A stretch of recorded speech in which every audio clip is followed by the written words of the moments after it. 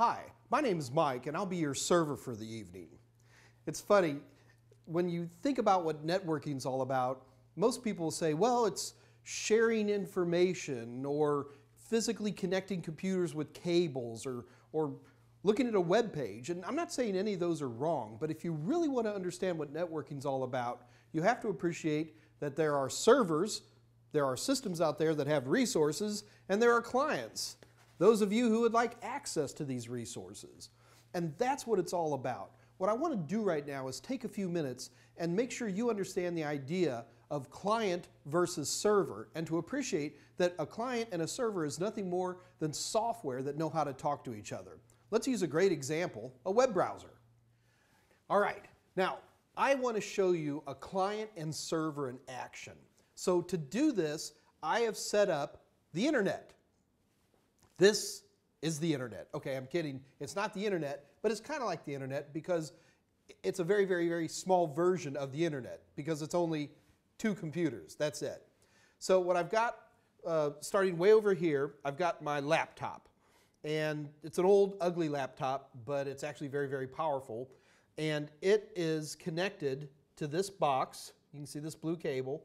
So it comes into this box, which at least for the moment I'm going to call a hub. And then that hub creates also a connection following this other blue cable going across, and you'll see that connects into the back of my computer. So I have two computers connected together right now, and that's their only connections. We're not connected to the internet or anything. I mean, they have wireless capabilities, but I've got that turned off for right now.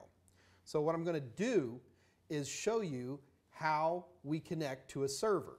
Now, what's interesting is that this laptop is actually running a web server. It's, it's a web server, and there's a web page and everything, okay? And I'm going to fire up good old Internet Explorer on my beast here, and we're going to access it. Pretty cool, huh?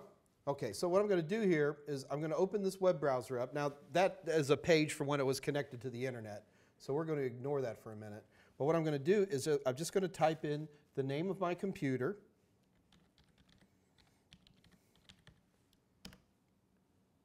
Welcome to Mike's awesome web page, circa 2001. Obviously, I didn't make this, but somebody else found that very, very funny. I wonder who that is.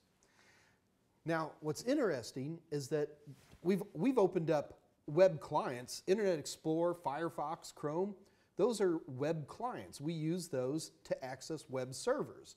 But what I want to do now is I want you to go look on my laptop here and let me show you what a very typical but simple web server looks like.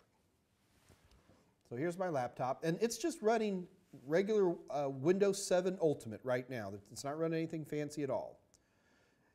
And you can't see anything going. That's because servers don't need an interface unless you're making configuration. So if we take a look, that is my web server running. That's all there is to it.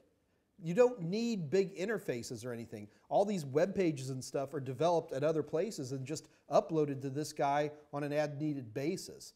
It actually does have a web based configuration screen, so I can like turn the web server on and off and things like that and decide where the web pages are and all of that type of thing. But this is a web server. See, this always blows people away when they first see servers because they think that the server has to be all fancy and all that stuff. Why does the web server have to show you the web pages? Its job is to send web pages to clients, but it in and of itself doesn't have to do that. And that's so common on anything from uh, systems that are streaming videos or music or even your hard drive, just because you're sharing a hard drive and other people are accessing it, that doesn't mean you have to see the contents of that particular folder or that particular hard drive on the serving system. But no matter what happens in the world of networking, you will always have a client and you will always have a server. Everything else is just what you have to do to connect these two guys so that the clients can access the resource that the servers are serving.